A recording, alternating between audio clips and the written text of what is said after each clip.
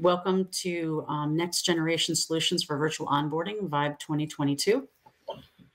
Hopefully everybody is able to hear me. I am Kelly Lake. I am the Global Head of KnowledgeWorks uh, Global Learning. And today we are going to be talking about uh, innovative approach to virtual onboarding. Those of you that have had a chance to meet me in the past, mm, I know there's quite a lot of folks that are on the call today and the session, so I thank you all for being here and a special thank you call out to ATD for the technical support that we're receiving today. So just to dive down into um, Vibe a little bit, let me explain to you. Vibe is uh, KGL's uh, virtual induction blended platform, experience platform, or what we call Vibe over the last several years, you know, we've all had the challenges for what is virtual onboarding? How do we augment our approaches to virtual onboarding? And what are the important factors that make up successful um, onboarding in a virtual world? So what we did at KGL, you know, a couple years ago, we released Vibe, and then we've been updating Vibe as we've gone along. And with that, obviously, with nuances that are coming out and the challenges from a virtual um, onboarding perspective, we actually came up with blending an approach of gamification, um, which we embed videos in there, make it interactive, engaging as well. Not only that, from AI chatbots, um, we find that you know engagement is the number one priority for organizations and for employees that are coming on board. How do we engage them successfully? How many times have employees come on board and said, you know, I don't really know my role. I didn't have such a great experience. I'm not too sure about the culture of the company or where I actually fit into an organization. So we took that as feedback and created a virtual mentor program. Um, the engagement factor brought in some virtual humans interactions. And I'm going to show you a demo of that as well. And then also augmented reality, which has really been a very favorable pursuit over the last couple years as well, not only from taking a flat experience, from coming on board with onboarding where you may have just received manuals or received you know paperwork and and not having that engagement with it. Now actually having the opportunity to engage with the document and have it you know come to life if you want to say that from an augmented perspective. And i'm going to talk about that a little bit more when we get into the demo aspect of it so just to go back one second, and I appreciate everybody having the patience with the connectivity issues that I'm facing. Um, just to give you an overview real quick of the Vibe solution, as you can see, this is just a, uh, an image of how all the different components are coming together. Um, just to give you a visualization and the points, the components that I just spoke about, not only from that aspect of it, but not depending on where you are specifically in your onboarding process, whether you're in the very beginning of the process, um, where you haven't really experienced anything from a virtual perspective, or you're actually engaged with a platform that you're happy with. There's different components within Vibe that work very nicely in all those different um, situations. So it will depend on where you are. It will not also depend on that, it will depend on who's rolling out your onboarding experiences, because as we know, from a global perspective, those experiences are vastly different, whether the States or another country, depending on the industry that you're in uh, financially, where the company may be, um, how HR is actually engaging with the onboarding process as well. So there's a lot of different components that make up a very successful approach. But number one is engagement making sure that you know employees are feeling comfortable coming in and they understand where they are so i'm going to demonstrate to you what that collaborativeness looks like and also give you just a little bit more understanding as we start to talk about how those different pieces come together just for the sense of, of understanding from that onboarding process and how that possibly works. So if you think about a standard onboarding process where you might have started um, augmenting or automating your documents and your procedures in the beginning. Um, but at that particular point, you're not too sure how that engagement factor would very well work with your different types of employees, wherever they may sit from a virtual perspective. So we go back to that engagement perspective. So that's why we came up with a game um, as an onboarding process. You know, how quickly can you learn about your organization? Um, I'm going to show you a demo of a particular client that we created, and um, it is a, called Media Best. It's a media based company um, who is very concerned about onboarding, ensuring that employees understand what that process looks like. So that helped them expedite the process very quickly because number one is you want to be able to get your employees in as quickly as possible, but to retain the knowledge. And that's why collaboration is so very important, not only from that aspect, but building out the game that we did the game itself can be augmented for continuous learning, which is very beneficial. So it will serve as multiple purposes on that. And then adding in those interactions, not only from you know, I have a chatbot. I'm able to interact with getting my answers, you know, very quickly instead of waiting to have to to you know actually have a conversation with someone or i can have a virtual mentor which i'm able to click in and, and do a one-on-one with the person that's been assigned to me and be able to answer questions and help me grow through that process as well. So those benefits across the board are very beneficial not only from the employee but also if you think about an roi model on a particular onboarding program, what does that look like? And being able to show that and being able to pull data through that whole entire onboarding process to see what that looks like, be able to get feedback from employees very quickly, and then also judge where you are and update your process accordingly. So there's a lot of different things within Vibe. And as, and as I mentioned, hopefully you heard before that, Vibe is a, is a process. And some organizations want to, you know, are very early in the stage and they choose to actually have some interactivity see how that goes, and then build out that process for a full one. And then if you do have platforms that are in place, some of the functionality that we offer can definitely augment what you currently have.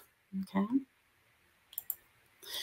So what you're seeing now is an integrated dashboard for uh, MediaBest, our client. And basically, what they wanted, they wanted to have one area as part of their onboarding process that integrated with their LMS, that integrated with a couple of their standard applications, where they could actually reach out and find information and be a part of it. And what we did is we started off the whole entire program by having a game. And that game was actually rolled out to employees as part of their initial onboarding, um, which enabled them to uh, walk through different components. And what I want to show you before we go into the demo is just explain a little bit about the game so it makes sense to you as I start to describe it. Okay.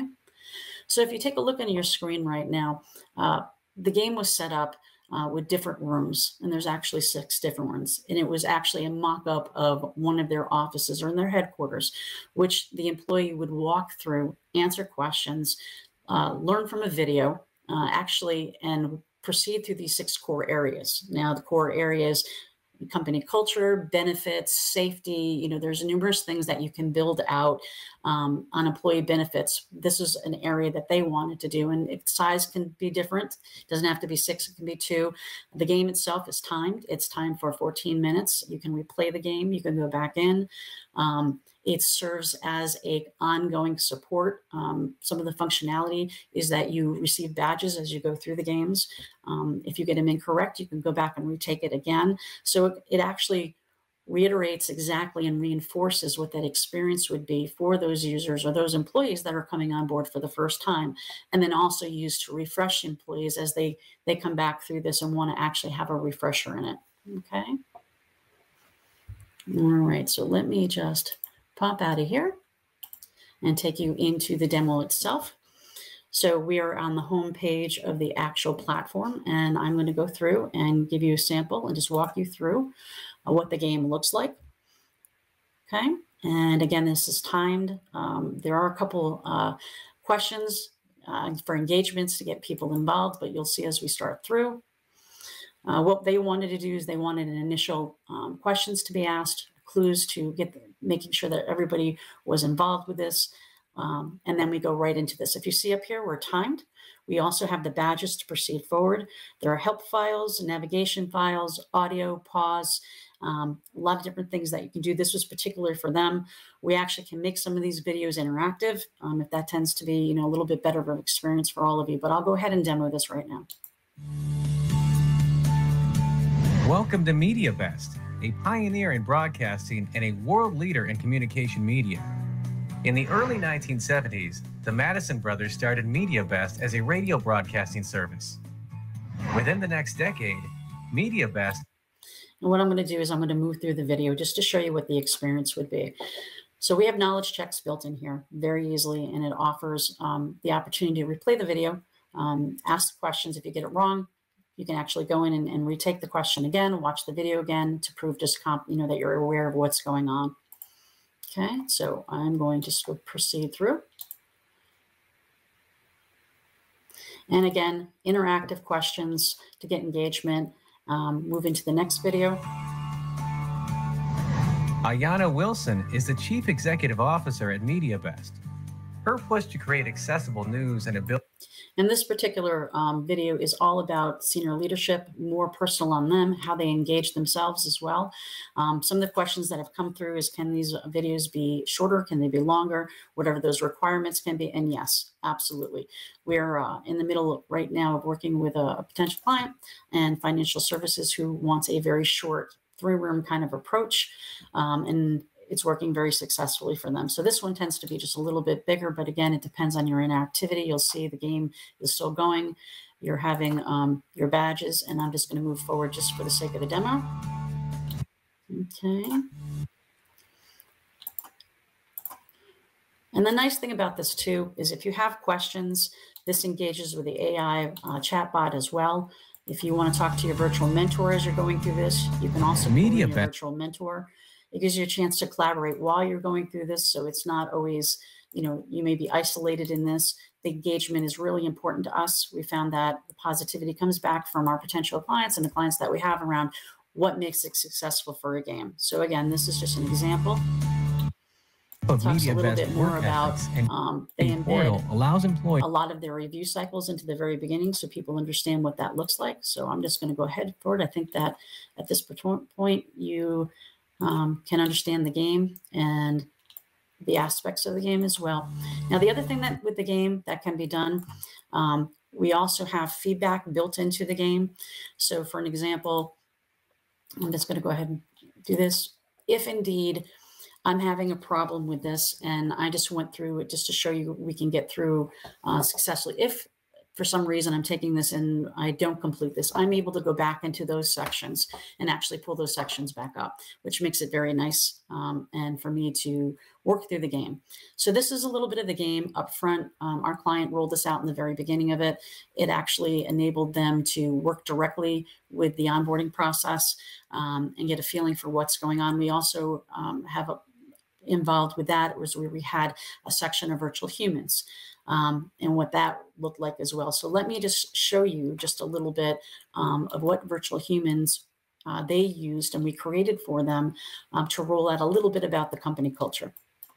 I'm Mark Andrews from Human Resources, and I'm here with our Chief Operating Officer, Maya Siegel. We're talking about why our company is a great place to work. Maya, what are some words you would use to describe the company culture? Well, I say this company is challenging, creative, diverse, and inclusive. Also flexible, friendly, and fun. Why challenging and creative? So we found out that the engagement factor went up um, quite a lot with those individuals and companies that wanted to use a little bit more engaging um, interactivity, such as virtual humans. So we offered that as a part of it or add on to what they're currently doing as well. Um, with this particular uh, application, we also rolled out Virtual Mentor. Now, the Virtual Mentor program, um, we just have a snippet of what they actually did. Hello. I'm Stephanie. I want to welcome you to MediaBest, and I will be your virtual mentor. My role is to ensure that you have a very smooth onboarding so with the virtual mentor too, it, it's real time. So you're able actually to have that interactivity. Um, you do have um, the whole entire log being recorded and, and the AI component of it actually works to ensure that that information is uploaded um, and then actually goes to work with their development and training plan as well. So that virtual mentor is not only a part of them when they can start the onboarding process, but continues on with them as well. Um, and that helps with the feedback factor at the same time. We also embedded um, a chatbot. Those of you that ever used chatbots in the in the past, um, actually the new AI is is a very unique approach for helping engaging as well. Um, they wanted their chatbot engaged not only from their LMS perspective, but they wanted to engage directly with Vibe.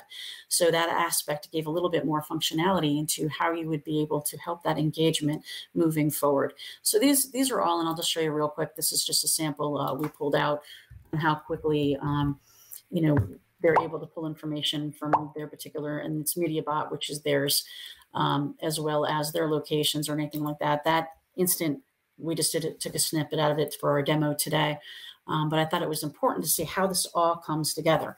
Now, we have um, a couple of the things that I wanted to talk about and just make sure that we have a few minutes to get into the Q&A. And um, one of the aspects is AR. So with AR, if you can think about a couple things that that have been used for onboarding with AR have been not only you know, I receive materials and I'm able to take my phone and overlap the tags on the different, and I can actually see more information on the materials themselves. Some of you may have not seen that, but may have seen brochures done that way, or you know specific company information that's provided.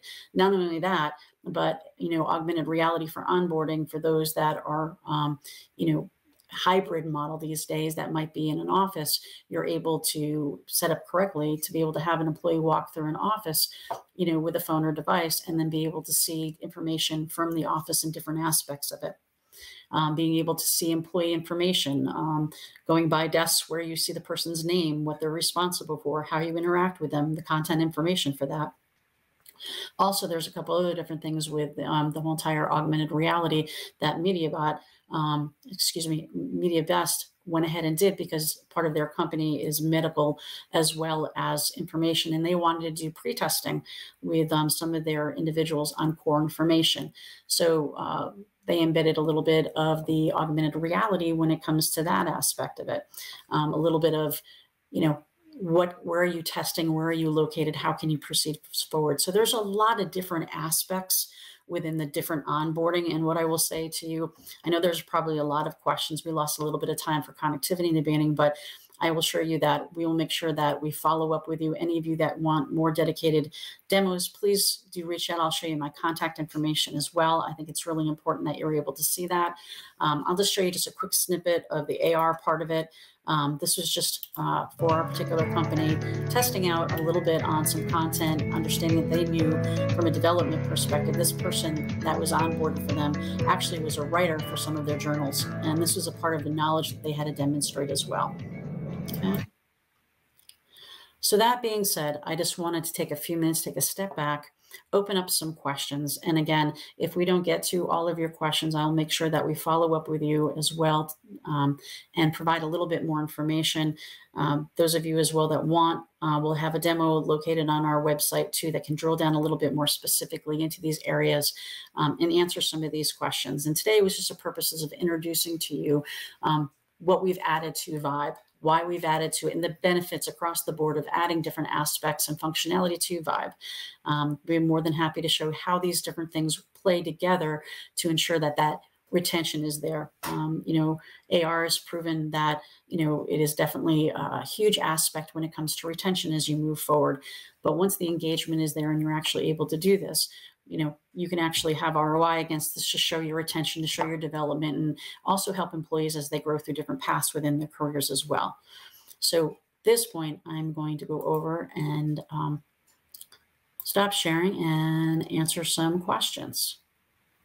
What was the biggest lessons learned with developing onboarding uh, all the hurdles in the last couple years? I think the biggest components of this had been from what we've heard of employees and organizations, and I've spoken with so many different organizations in different areas, has been knowing where to start for them, um, knowing what's going to work well with employees working remotely.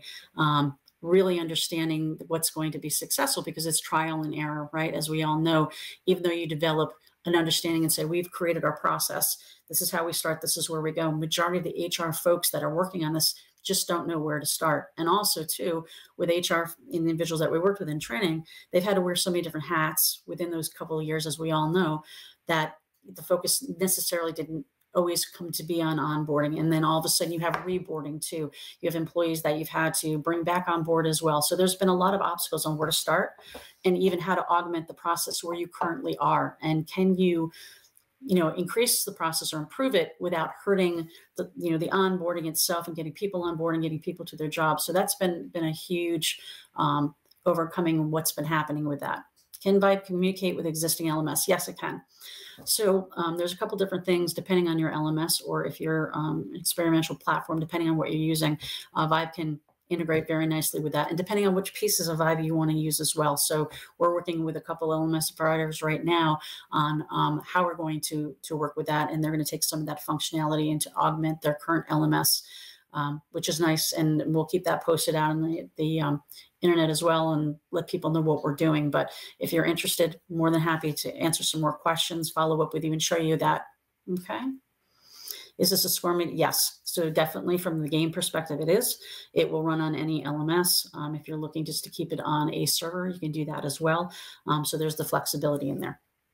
In what industry do you see AR being uh, most used when it comes to training? I will tell you the leaders right now in the market, medical, as you would imagine, automotive. So we're seeing um, a tremendous amount of move in, in an automotive perspective. And so long gone are the days of having an owner's manual in your, your glove box, right? So now everything is you get into your vehicle and you're able to augment it. Not only from that perspective, sales training. Sales training is huge right now in those different industries. How salespeople are actually explaining functionality. Um, that's a big move right now. Manufacturing right? So, you know, companies, some of my companies that we work with are using them for their equipment, um, using it for any type of, you know, on-site training that they may want to do, um, even their onboarding for their equipment and what they're doing. Medical, you see AR all over the place with that, you know, not only from, you know, hospital, uh, you know healthcare perspective, but also for medical training. Um, actually, it was with a, a, client going through a demo on um, augmented reality for emergency room, where they're doing it on medical devices and they're pulling that up as well. So there's lots of different aspects that you can do that with, depending on what the industry is. Um, virtual humans. Okay, you might cover this late, but in this case, is the virtual human virtual mentor actually people in a virtual capacity or these all bots? Good question. So the virtual humans is actually virtual. So it's virtual development um, that are, you know, mock-ups of close as interactive as possible. Um, the virtual virtual mentors are actually people, um, but can be also virtual humans if you want to. But the virtual mentors are interactive, just like you and I would be interacting to have that um, connectivity to someone who is a mentor for you that can coach you um, throughout that as well. So it depends on what kind of approach you want to take. But for the purposes today, that's human versus uh, human like. Okay. How do you measure the engagement factor? Great question. So there's a lot of different ways that you can do that. It depends what you want to gain by measurement. So if you're measuring it to find um, how many people have um, currently engaged in certain factors. What are your factors that you're that you're actually um, measuring? Are you measuring um, my engagement as far as being able to answer my questions? Are you measuring my capabilities as far as cognitive retention? What are your different areas that you're able to do that? So depending on how you what you want to measure um, we give you best practices on those different types of measurements. I'll give you one quick example and i know i'm running against some time here but a client that we developed this for actually wanted to measure a couple different things. They wanted to measure A, you know, how engaged were the individuals that were coming through the onboarding process? Um, were they you know able to retain information we did a couple other things around the game to prove that aspect of it um, and then the time and the amount that they did it so there's a lot of analytics that were on the, on the back end of it depending on that engagement factor um, so again i'd be more than happy to showcase that with you i'd be more than happy to provide you um, a case study so you can actually see what, what that looks like. Okay. Can Vibe also develop as a different game on a customized one? Yes. Answer your question. Absolutely. I think that that's important not only to understand uh, the game itself, but also how it can be customized as well. Is the game VR with a headset or a flat screen? The game itself is not um, VR. The game itself is uh, just a basic um, game approach with the um, VR, you can either do it um, on a device, handheld device, or we actually develop with a headset too. So there's different aspects depending on that level of engagement that you want developed for your particular employees. Okay. Uh, can you pause the game at the time of the case and have it up again and walk away? Yes, absolutely. You can bookmark your game wherever you stop in the game. It's where you'll be able to pick up. You'll be asked in the beginning, do you want to pick up where you were or do you want to restart the game? So absolutely. Um, other than getting badges, what are the elements that make the game gamified approach? So it's not only that aspect of it. So here's a, here's something else that we're doing as well. So not only doing a single game approach, but we're also developing a multiplayer approach too that will go into a second phase of that. So the game itself not only um, gets broken down into different aspects of uh, cognitive development. So it can be the game itself can be measured not only specifically for those different areas, but then also, you know, if you do a typical game, you're doing it the time against it, you're doing um, the measurement against it, and you're doing the badges against it. So we've actually taken that one step beyond that. And I'm not going to uh, tell you any more about that uh, with some of our competitors today, but I'd be more than happy to show you that and show you a little bit behind the scenes as well. I'd be happy to discuss that with you too. Okay, whoops. Am I showing? Okay, so I know that we are at our time. Um, does this, this doesn't replace an LMS, but adds Gamefish? That is absolutely correct on that. So I'm going to thank you all for your time today. I appreciate us going over. And again, I apologize for the connectivity issues. Hopefully we'll be able to trim that out in the video as well, but please, please, you know, reach out at any particular point in time. I'm just going to share real quick as we um, go through this, just um, my contact information, those of you that um, want to follow up, and I will just bounce down to the bottom of this real quickly for you and let you know that we can be reached very easily. KGL, um, do reach out. Like I said, I'd be more than happy to follow up with some examples of it for this for you as well. Those of you interested in prototypes, I know I had a couple people follow up with that. Please just reach out. Um, my email address is there, uh, kelly.lake at kwglobal.com. Um, it's just kwglobal.com across the board, any of you that have been on the site, reach out, follow us on Twitter. And again, I thank all of you for your time today and be more than happy to answer anything that we have. Okay. Thank you.